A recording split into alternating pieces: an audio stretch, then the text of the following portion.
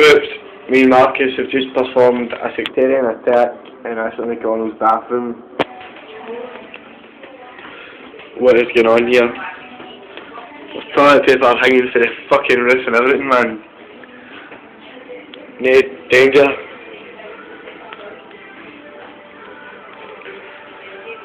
I imagine trying having a fucking piss in this thing, man.